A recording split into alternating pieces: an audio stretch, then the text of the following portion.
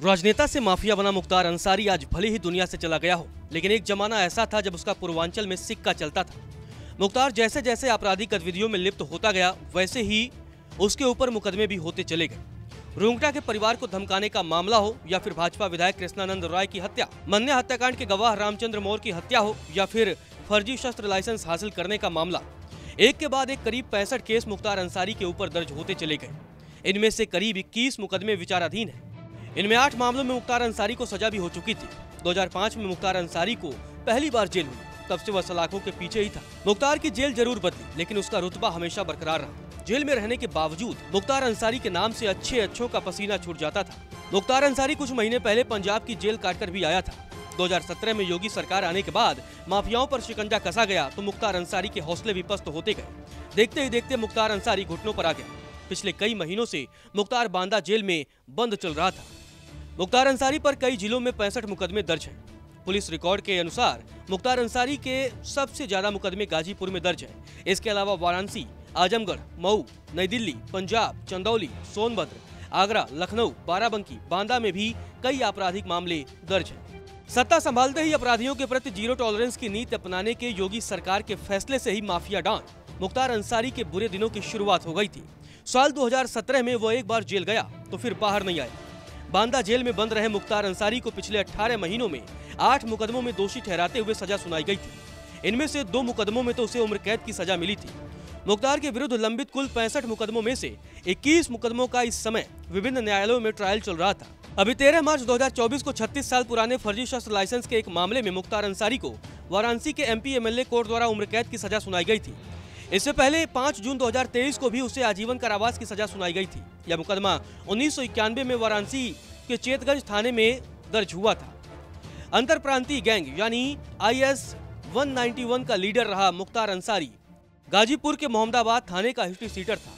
उसके विरुद्ध दिल्ली व पंजाब के अलावा यूपी के गाजीपुर, वाराणसी, चंदौली, आजमगढ़, मऊ, सोनभद्र, लखनऊ, बाराबंकी व आगरा में हत्या, लूट, डकैती, अपहरण, रंगदारी, गैंगस्टर व एनएसए आदि विभिन्न जगन्य प्रकृति अपराधों में लगभग पैंसठ मुकदमे दर्ज थे। शासन स्तर पर चिन्हित अड़सठ माफियाओं में शामिल रहे मुख्तार अंसारी के गैंग के सदस्यों के विरुद्ध एक सौ इकसठ मुकदमे दर्ज करते हुए उनसे संबंधित एक सौ पचहत्तर लाइसेंसी शस्त्र धारकों के विरुद्ध भी कार्रवाई की गई थी। इसके साथ ही गैंग से संबंधित पाँच माफिया या सह अपराधी पुलिस के साथ मुठभेड़ में मारे गए थे। इतना ही नहीं, गैंग से संबंधित एक सौ चौंसठ अभियुक्तों के विरुद्ध गैंगस्टर एक्ट और छह अभियुक्तों के विरुद्ध एनएसए के तहत कार्रवाई करते हुए 608 करोड़ रुपए से अधिक की संपत्तियों का दोस्तीकरण व जब्तीकरण भी किया गया था। साथ ही उनके 215 करोड़ से अधिक के अवैध व्यवसाय भी बंद कराए गए। चलिए आपको बताते हैं कि आखिर किन मामलों में मुख्तार अंसारी को सजा मिली। लखनऊ के आलमबाग थाने में 2003 में दर्ज मुकदमे में 21 सितंबर 2022 को सात वर्ष का कठोर कारावास एवं सैंतीस हज़ार रूपए का अर्थदंड। लखनऊ के हजरतगंज थाने में 1999 में दर्ज मुकदमे में 23 सितंबर 2022 को पाँच वर्ष का कठोर कारावास एवं पचास हज़ार रूपए का अर्थदंड।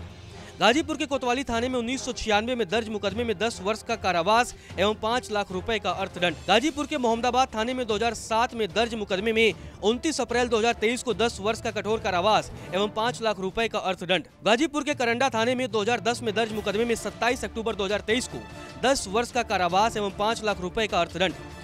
वाराणसी के भेलूपुर थाने में उन्नीस में दर्ज मुकदमे में साढ़े पाँच वर्ष के कारावास एवं दस हज़ार रूपए का अर्थदंड। योगी सरकार आने के बाद प्रदेश के माफियाओं पर कार्रवाई का सिलसिला शुरू हुआ। शासन और प्रशासन ने मिलकर पहले माफियाओं की कमर तोड़ी।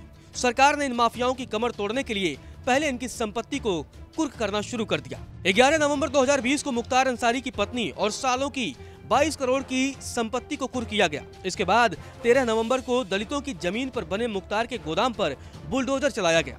9 जून 2021 को बेटे अब्बास और उमर के नाम पर रजिस्टर्ड ज़मीन को जब्त किया गया।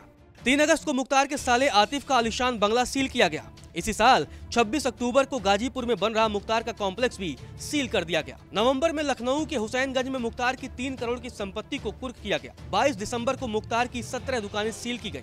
23 फरवरी 2022 को विधानसभा चुनाव के दौरान मुख्तार के गज़ल होटल पर गाज गिराई गई। इस दौरान बहत्तर लाख रुपए के गहने भी जब्त किए गए। मुख्तार और उसके परिवार के खिलाफ शासन प्रशासन की कार्रवाई बंद हुई, लेकिन आगे भी जारी रही। चलिए आपको मुख्तार अंसारी के कुछ जघन अपराधों के बारे में भी बता देते हैं। गाजीपुर में भाजपा विधायक कृष्णानंद राय की हत्या मन्या हत्याकांड के गवाह रामचंद्र मौर्य की हत्या, फर्जी शस्त्र लाइसेंस हासिल करने पर केस, कांग्रेस के नेता अजय राय के भाई की हत्या, मऊ में एस रेडी ठेकेदार मन्ना सिंह हत्याकांड, रामचंद्र मौर्य के बॉडीगार्ड सिपाही सतीश, मर्डर केस, इलाहाबाद की स्पेशल एमएलए कोर्ट गैंगस्टर के चार केस।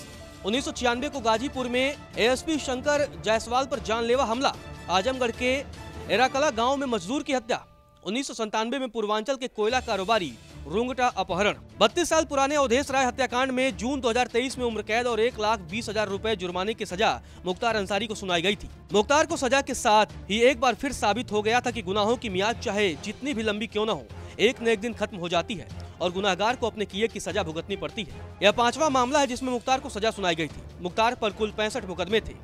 एक एक कर जिस तरह उसे सजा मिल रही थी, उससे अब लगभग तय हो चुका था कि दशकों तक पूर्वांचल में दहशत फैलाने वाले इस माफिया को अब बाकी की उम्र जेल में ही गुजारनी थी।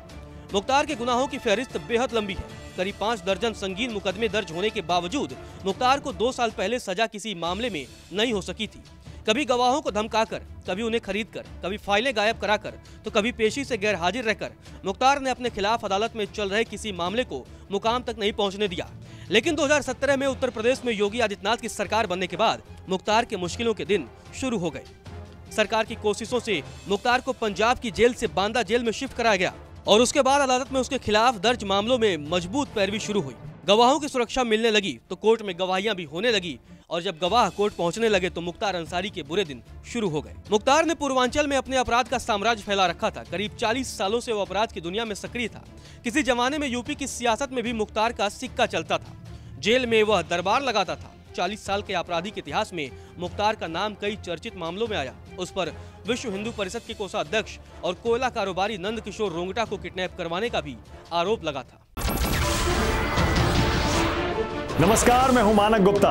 अगर आपको हमारा ये वीडियो पसंद आया हो तो इसे लाइक और शेयर ज़रूर करें। और हाँ हमें सब्सक्राइब और फॉलो करना ना भूलें, ताकि आप देश और दुनिया की कोई खबर मिस ना करें। तो जुड़े रहिए हमारे साथ और देखते रहिए न्यूज़ 24